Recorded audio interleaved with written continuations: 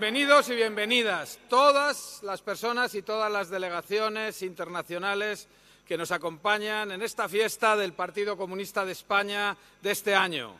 Bienvenidos todos los invitados, organizaciones sindicales, sociales, organizaciones territoriales del Partido Comunista de España, Juventud Comunista de España y todas las organizaciones territoriales. Gracias por estar aquí y un agradecimiento muy especial a todas las personas militantes, amigos y amigas del Partido Comunista de España que con su trabajo, con su dedicación, hacen posible un año más esta gran cita de la solidaridad, la cultura, la reivindicación,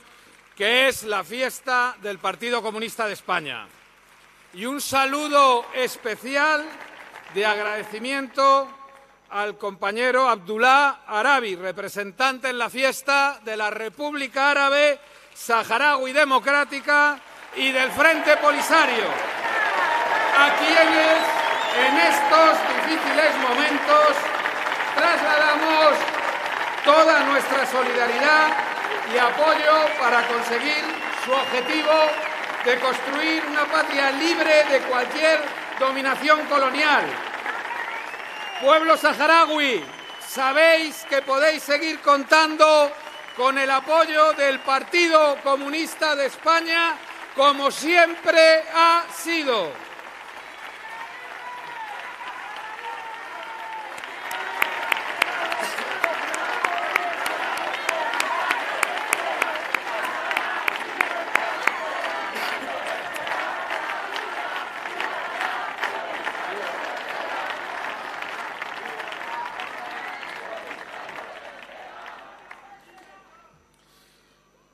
Hoy, más que nunca, vivimos en un mundo convulso, pleno de conflictos sociales y armados, un mundo que cada día se aleja de la necesaria creación de un nuevo orden multilateral donde prime la colaboración entre los pueblos para construir un modelo de desarrollo humano respetuoso con nuestro planeta, que acabe con las grandes lacras de la humanidad, con la injusticia social, con la explotación de las personas, con el hambre, con las enfermedades, con el saqueo de recursos naturales, con la contaminación del planeta y con la negación de derechos. Nuestro planeta y la humanidad tienen suficientes recursos naturales, científicos y técnicos para ello. Y solamente la codicia de un sistema insaciable y la voracidad suicida del capitalismo lo hacen inviable. Reiteramos que hoy el sistema capitalista, a través de ser tremendamente injusto, es suicida por cuanto impulsa un desarrollo cada día más incompatible con el mantenimiento de la vida y, por tanto, con la supervivencia de la humanidad. Por mucho que el capital y las fuerzas de la reacción se empeñen en su afán negacionista de la realidad, no se puede tapar la degradación medioambiental, más aún tras un verano en el que el cambio climático se ha manifestado con una desmesurada capacidad de destrucción. Los Estados Unidos, todavía primera potencia mundial, son un país capaz de poner en riesgo la seguridad global para garantizar que sus intereses militares y económicos prevalecen y no dudan en poner en marcha una agresiva campaña a lo largo del planeta para rodear militarmente a quienes consideran como sus enemigos. China y Rusia, los pueblos libres de América Latina y de otros lugares del mundo. Hoy, de nuevo, como tantas veces, señalamos que el capitalismo es explotación humana, destrucción ambiental y guerra para beneficio de una minoría. Y por eso insistimos en la necesidad de construir el socialismo como única forma de garantizar la paz, la democracia y los derechos humanos.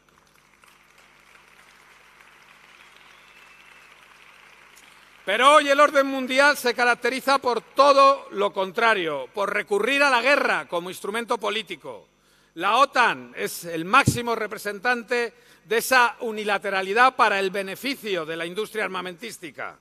La permanente extensión de la OTAN hacia el este, desde el fin de la Guerra Fría, ha provocado el cerco militar de una Rusia que se entregó al capitalismo en la época de Yeltsin, pero no le sirvió para mucho.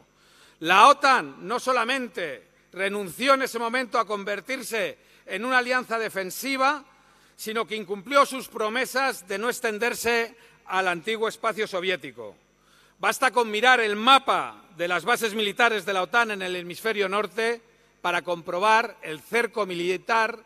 creado alrededor de Rusia, pero también de China, de una Rusia que tiene motivos más que fundados para sentir amenazada su seguridad.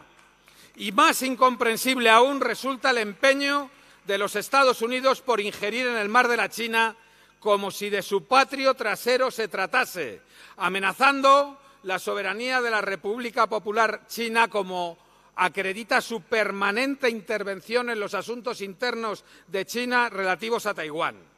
El, reto permanente de la República Popular China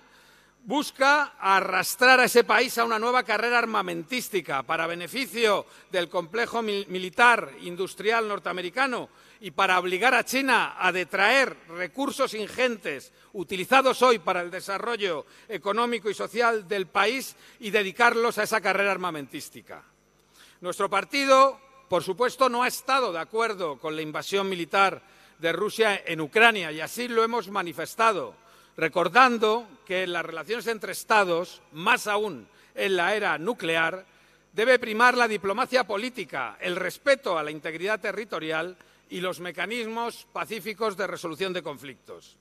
Ni la actual Rusia es la Unión Soviética, ni el partido de Putin es un partido de izquierdas, pero al margen de quien gobierne en Rusia, la realidad es que este país tiene motivos razonables para sentirse muy preocupada por la ubicación de armamento de la OTAN en sus fronteras, igual que todo el mundo entendió en 1962 que Estados Unidos se sintiera amenazado por la instalación de misiles rusos en Cuba. Y desde luego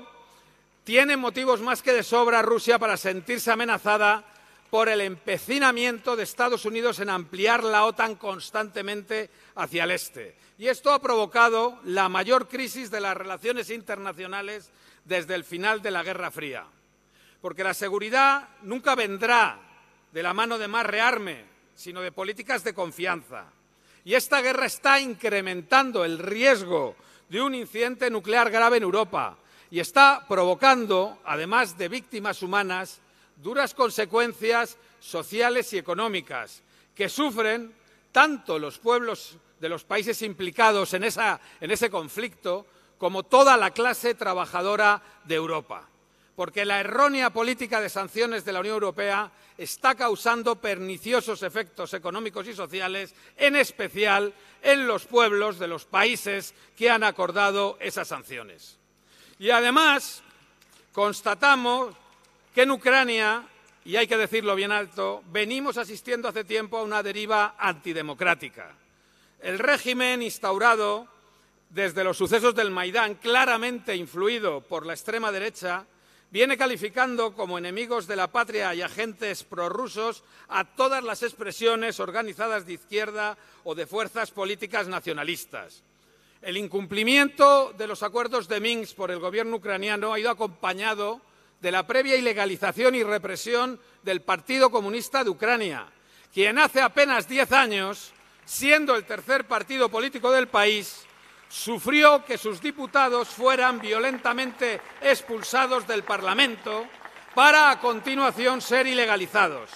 Y también han sido ilegalizados y sometidos a brutal represión la Juventud Comunista, los sindicatos y hasta diez partidos de izquierda más. Y no deja de sorprendernos el cinismo de la Unión Europea negándose no ya a condenar esta situación y exigir su finalización, sino simplemente a mencionarlo. A pesar de la gravedad de esta guerra, existe una ausencia absoluta de acciones diplomáticas para desactivar el conflicto y construir la paz. La Unión Europea hace tiempo que ha abandonado cualquier esfuerzo de mediación para la resolución de este conflicto, obviando que siempre va a compartir territorio y espacio geográfico con Rusia. Por tanto, el interés de los países europeos debería ser desactivar el conflicto, encontrar una solución viable para la convivencia pacífica entre los pueblos europeos y no dejarse guiar por intereses ajenos, claramente por los intereses de los Estados Unidos. En el proceso de implementación de los acuerdos de Minsk, la Unión Europea renunció a cumplir un papel activo e incluso impidió que países como Francia y Alemania pudieran jugarlo. La, diplomacia europea debería estar hoy empleándose a fondo, reactivando el papel de la Organización para la Seguridad y la Cooperación Europea para alcanzar un acuerdo que acabe con la, guerra, en lugar de dedicarse a enviar constantemente armas a Ucrania y hacer llamamientos a la continuación del conflicto en vez de hasta su finalización, pensando en una más que improbable victoria militar sobre Rusia, que por si nadie lo recuerda, es una potencia nuclear. Nuestro partido defiende una propuesta clara y contundente para acabar con el conflicto en Ucrania, detener de inmediato las hostilidades militares, poner en marcha un proceso auspiciado por la OSCE, que es la única organización con capacidad para hacerlo, y sumar a otros países como eh, China o como México, que acaban de plantear propuestas sumamente interesantes, en concreto en las Naciones Unidas. Queremos, por tanto, mostrar nuestra solidaridad con estas propuestas de países como China, de países como México, que han marcado la vía para acabar con este conflicto. Y quiero hacer una especial mención otra vez a nuestra solidaridad con la República Árabe Saharaui Democrática y con el Frente Polisario, porque nos ha preocupado y mucho que en estos momentos el Partido Socialista haya decidido unilateralmente variar la posición histórica de los sucesivos gobiernos españoles. Nuestro partido ha impulsado, junto a otros grupos parlamentarios y desde Unidas Podemos una propuesta en el Congreso de los Diputados y hemos conseguido que el Congreso de los Diputados se pronunciara aprobando el mantenimiento de la posición histórica de nuestro país, defender la celebración de un referéndum de autodeterminación en el Sáhara Occidental bajo los auspicios de las Naciones Unidas. Y nos felicitamos de que esa sea hoy la posición de la inmensa mayoría de los representantes de la soberanía nacional, de la soberanía del pueblo español. Y mientras tanto en Europa continúa el avance de la ultraderecha en momentos de grave angustia e incertidumbre ante el futuro. Y es imprescindible que los y las comunistas y en general todas las personas demócratas demos esa contundente batalla política y, cultural contra el avance de las ideas y de los discursos de odio la extrema derecha impugna permanentemente los valores de la solidaridad, de la justicia social y de la igualdad. Y somos conscientes de que el racismo, la creación de bolsas de exclusión y el patriarcado son también poderosas herramientas para el avance del fascismo y del capitalismo más autoritario. Gobierno ultraderechista en Polonia que continúa restringiendo las libertades públicas y los derechos civiles hacemos un llamamiento expreso a la liberación inmediata del periodista español Pablo González, preso desde hace seis meses en las cárceles polacas bajo falsas acusaciones, lo que supone un grave ataque a la libertad de información. Y también denunciamos al gobierno ultraderechista húngaro, que continúa demoliendo el Estado de Derecho y las libertades de sus conciudadanos y nos preocupa que la ultraderecha haya quedado situada como segunda fuerza en Suecia, con posibilidad de gobernar. Y qué desgracia, en Italia, la ultraderecha profascista ha sido la fuerza más votada en las últimas elecciones generales del pasado domingo 25 de septiembre y va a liderar, sin duda, el gobierno de la tercera economía de la Unión Europea. Una auténtica tragedia en nuestro país. Los Estados Unidos han encontrado una ocasión en la crisis de Ucrania, en la militarización de la política europea, para incrementar las ventas de sus empresas armamentísticas y situarse como principal proveedor de gas y petróleo a Europa. El Partido Comunista de España va a trabajar para frenar esta carrera y utilizaremos nuestra presencia en el Congreso y en el Gobierno para impedir el incremento del gasto de defensa en España hasta el 2% del Producto Interior Bruto, como defiende el Partido Socialista y las fuerzas de la derecha. Una de las víctimas de la guerra en Ucrania ha sido la transición de los combustibles fósiles y las políticas necesarias para combatir el acelerado cambio climático. Cambio climático que es responsabilidad del capital, como ha declarado el presidente de Colombia, Gustavo Petro, en las Naciones Unidas. Según la Comisión Europea, hemos vivido el año con más sequía en 500 años en Europa. Y esta realidad choca con una nueva forma de negacionismo del cambio climático,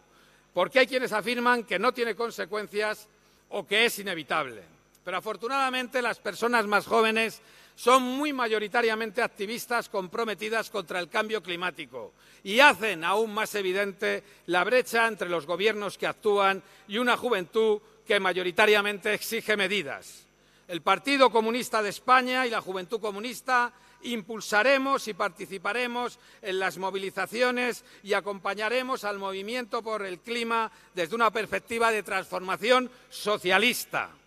porque la crisis energética ha provocado tal incremento del precio de la energía que todos los países europeos han tenido que replantearse las limitaciones en la intervención del sector eléctrico y energético.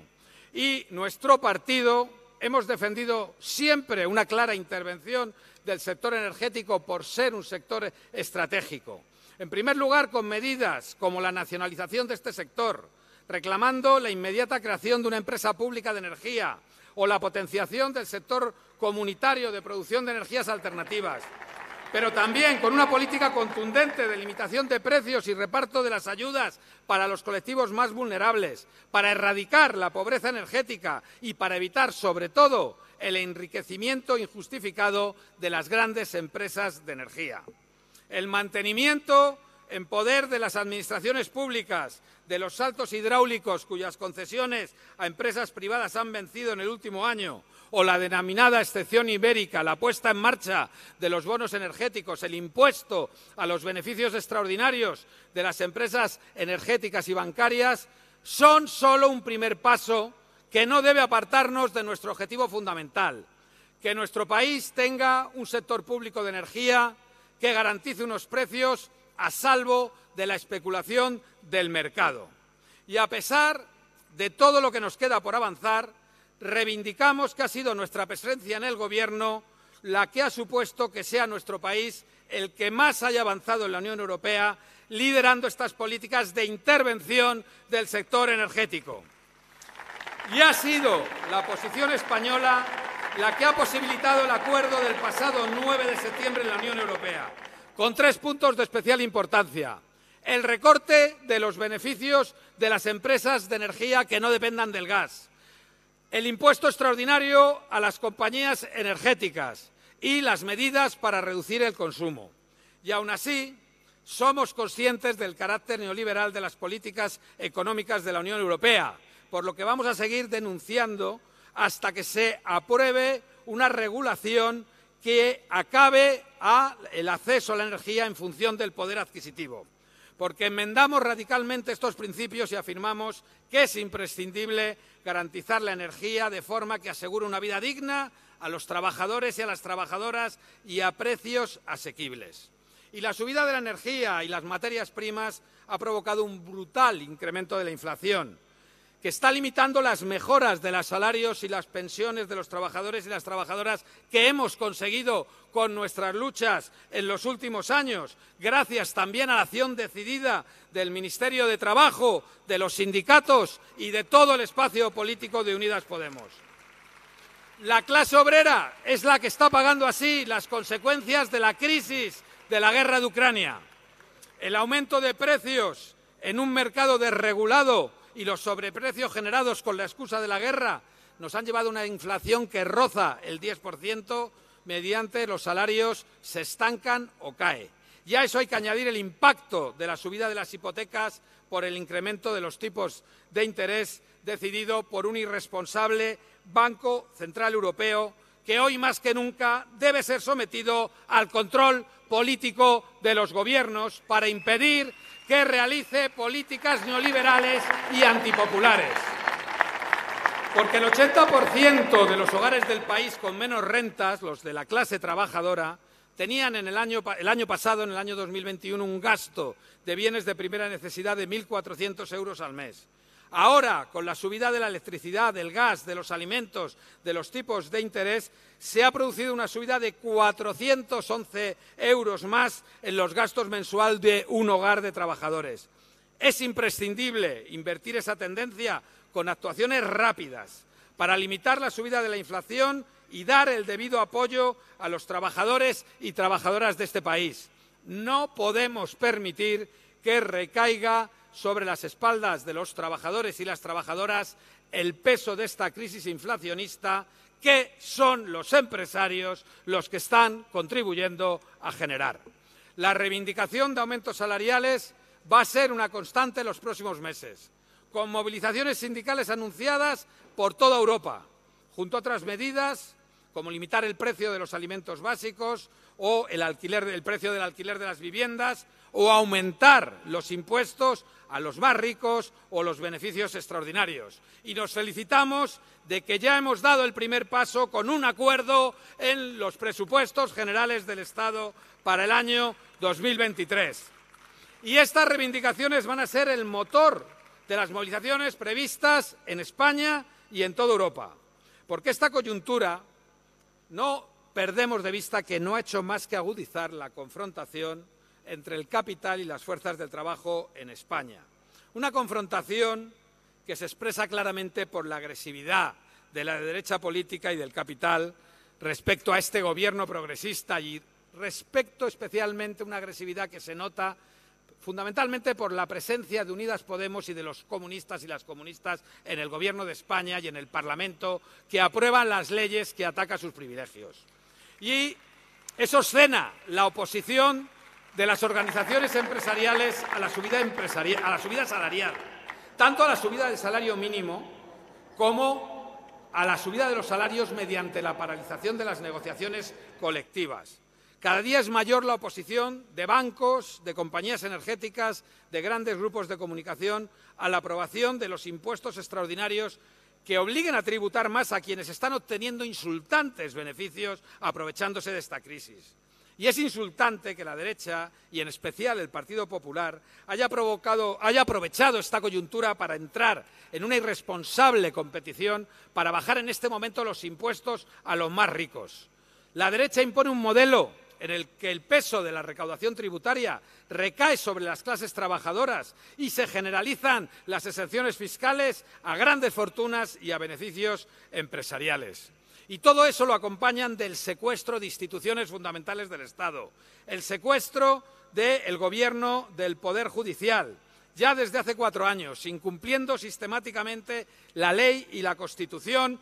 de la que, que, utilizan únicamente para llenarse la boca para atacar a la izquierda, y ahora aferrándose al control de un tribunal constitucional que quieren utilizar claramente para acabar con las leyes progresistas acordadas por este Gobierno en el Parlamento con una mayoría de progreso. Y entrando en el último año de legislatura, evidentemente van a continuar poniéndose de manifiesto distintos puntos de vista entre los socios del Gobierno de coalición. La posición del Partido Comunista de España es que en estos momentos es imprescindible cumplir exhaustivamente el, acuerdo del Gobierno de coalición, el acuerdo programático, pero hay que ir más allá en los aspectos económicos y sociales, porque la crisis energética y el incremento de la inflación han dejado ya desfasados muchos de los contenidos del acuerdo del Gobierno de coalición. Y el Gobierno de España debe aprobar mayores subidas del salario mínimo interprofesional y abordar una reforma fiscal profunda para multiplicar la recaudación entre los beneficios del capital y entre las grandes fortunas y nos congratulamos de que nuestros esfuerzos ya estén dando resultados. Y mostramos, cómo no, nuestro apoyo a las reivindicaciones sindicales para conseguir esas subidas salariales dignas, para mantener una vida digna para los trabajadores y trabajadoras. La subida del salario mínimo tiene que ascender hasta 1.100 euros como mínimo. Y la reactivación de la mesa de, negociación colectiva para la subida de salarios es una prioridad a la que tenemos que sumar nuestros esfuerzos junto a los sindicatos para luchar contra la precariedad de esta forma que causan las, subcontrataciones y el abaratamiento de los salarios. Y si hacen falta amplias movilizaciones sindicales y sociales, tenemos que contribuir a ponerlos en marcha porque es imprescindible conseguir una subida de salarios que absorba toda la subida de precios de este año. Y, por supuesto, que vamos a trabajar porque se consiga un pacto social que permita avanzar en todo esto. Pero, desde luego, si no es posible llegar a un acuerdo, tendrá que ser la calle y la capacidad de movilización sindical de las organizaciones sociales de las fuerzas de izquierdas la que obligue a garantizar los derechos de los trabajadores y las trabajadoras y un nivel salarial que permita mantener una vida digna. Por eso nuestro empeño va a ser garantizar que este ciclo de movilizaciones sindicales y sociales sea un éxito. Han empezado ya las movilizaciones la semana pasada con la movilización feminista del pasado 28 de septiembre por el derecho al aborto, porque desde luego si algo atacan los gobiernos ultras y la extrema derecha son los derechos de las mujeres. Pero le seguirán a esto las movilizaciones el 7 de octubre, la generalización de concentraciones en toda España con motivo del Día Internacional del Trabajo Decente, bajo el lema de la justicia salarial, para continuar con una gran manifestación que tiene que ser un éxito en Madrid el próximo día 3 de noviembre, a la que están convocadas delegadas, delegados sindicales, afiliados y afiliados, simpatizantes de las comisiones obreras de UGT de toda España para dar una respuesta contundente a las patronales ante este bloqueo de la negociación colectiva. Y estas luchas para mejorar las condiciones de vida de la clase obrera, para defender sus conquistas, no podemos darlas aisladas de otras para conseguir permanentemente más derechos. Necesitamos de forma urgente una nueva ley de vivienda que garantice ese derecho fundamental, que impida que la vivienda siga siendo objeto de especulación. Una ley que proteja a los deudores hipotecarios ante cualquier amenaza de pérdida de su vivienda. Y también es esencial apoyar los esfuerzos de la ministra de Trabajo, Yolanda Díaz, y del ministro de Consumo, Alberto Garzón, para controlar el precio de los alimentos, el precio de los productos básicos, para garantizar el derecho a la alimentación de las personas más vulnerables. Conseguir victorias para mejorar la vida y proteger los derechos de nuestro pueblo y de nuestra clase es también un fuerte estímulo para impulsar la movilización social y política, que es la única forma de garantizar una correlación de fuerzas favorable a nuestras posiciones en el seno del Gobierno de coalición. Conseguir que se hagan realidad nuestras propuestas requiere, por tanto, permanente movilización y participación social. Una movilización y participación que posteriormente tiene que convertirse en movilización electoral. Este curso político tiene entre sus principales retos abordar las elecciones municipales y autonómicas. La política municipal siempre ha sido una herramienta de transformación social y la izquierda que representamos siempre ha jugado un papel protagonista gracias a la autonomía municipal. Es en el municipio el ámbito en el que se desarrolla la vida de nuestra gente, donde se expresan y concretan las contradicciones sociales. Es en el día a día de nuestros barrios, de nuestros pueblos y ciudades, donde se ven las nefastas consecuencias de las políticas neoliberales. El sufrimiento causado por el desempleo, por la falta de vivienda, los recortes en los servicios públicos, la carestía de la vida, la falta de expectativas. Participación popular, programa y unidad han sido la guía de trabajo de Izquierda Unida y del Partido Comunista de España para cambiar la vida de nuestros vecinos y vecinas. Todo nuestro reconocimiento y agradecimiento a nuestros alcaldes y alcaldesas, a nuestros concejales y concejalas, a nuestros diputados y diputadas autonómicas, tanto quienes están en la oposición como quienes están en el Gobierno. Han sido ejemplo de entrega, y compromiso siempre y en lo peor de la pandemia, demostrando que en los momentos difíciles solo el pueblo salva al pueblo. Y el PC va a, preparar intensamente las próximas elecciones municipales y autonómicas para que sea una victoria política de la izquierda frente a las fuerzas conservadoras, frente a la ultraderecha. Vamos a trabajar para aumentar nuestra representación institucional, la de Izquierda Unida la del Partido Comunista de España en particular y la de toda la izquierda alternativa en general, para continuar gobernando allá donde lo hacemos y alcanzar nuevos gobiernos donde todavía no gobernamos. Y también necesitamos esa mayoría de progreso en los pueblos, en las ciudades y en las comunidades autónomas para continuar sumando en la construcción de un nuevo país. Porque las elecciones municipales no se resuelven solo con una candidatura, con una campaña electoral porque para alcanzar nuestros objetivos requerimos esa movilización que involucra a nuestros vecinos y vecinas. Y necesitamos sumar movimientos y organizaciones, involucrar, sumar y hegemonizar, aglutinar en torno a unas ideas a quienes padecen la falta de vivienda, de equipamientos públicos, a quienes día a día luchan, a todas las fuerzas políticas que conforman el espacio de Unidas Podemos y a otras fuerzas políticas susceptibles de incorporarse a este proceso de sumar en el que estamos comprometidos. Y el Partido Comunista de España se volcará en construir candidaturas de izquierda unida para garantizar esa presencia en el máximo de ayuntamientos, conformar candidaturas lo más amplias posibles de la izquierda y organizar procesos amplios cuando se den las condiciones para ello o concurriendo en solitario cuando esto no sea posible. En uno u otro caso, la presencia del Partido Comunista de España y de Izquierda Unida deben ser la garantía de credibilidad de las candidaturas. Y tras las elecciones municipales y autonómicas, continuaremos impulsando procesos participativos, con personas y colectivos dispuestos a sumarse al proceso de ampliación del espacio del cambio que tantas medidas positivas para la clase trabajadora ha traído a nuestro país. Necesitamos un impulso a ese proyecto político para construir un nuevo proyecto de país con propuestas surgidas de la elaboración participativa, que recojan las aspiraciones de la mayoría social. Un proceso que, sobre todo, recupere ilusión y que garantice participación a la vez que ofrece a los trabajadores, a las trabajadoras, a estudiantes, a profesionales, a jubiladas y jubilados, a jóvenes, a nuestros mayores, una posibilidad para cambiar su vida y para garantizar más derechos. Nuestro reto va a ser ampliar ese espacio del cambio con esa propuesta de país, para continuar luchando por la defensa de la democracia, de las libertades, de nuestros derechos. Porque las fuerzas políticas que hoy conformamos Unidas Podemos, junto a otras muchas en, otras partes, en los distintos territorios del Estado, sueñan también con un país que garantice una vida digna a todas las personas. Solo sumando y acumulando fuerzas en cada uno de estos procesos estaremos en condiciones de frenar a la derecha y a la ultraderecha. A esa ultraderecha que nos persigue, que nos criminaliza, como ha pasado ahora con el caso de nuestro camarada Alberto Cubero, felizmente absuelto. Y quiero dar las gracias al trabajo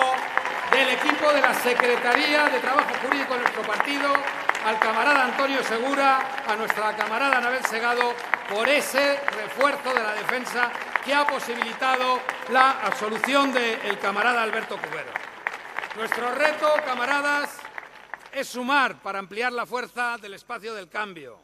combinando la fuerza de las luchas sindicales y sociales, la fuerza de la calle y nuestra fuerza en las instituciones. Y ojalá que cada vez más fuerza en la lucha sindical, en la calle y en las instituciones, porque necesitamos toda esa fuerza que debidamente utilizada en estos momentos convulsos en Europa y en todo el mundo va a continuar llevando adelante medidas contundentes para redistribuir la riqueza, para garantizar derechos, para no dejar a nadie atrás para continuar el camino de construcción de una sociedad más justa, de una sociedad socialista. Camaradas, compañeros, amigos, por la paz, viva la lucha de la clase obrera, viva el Partido Comunista de España,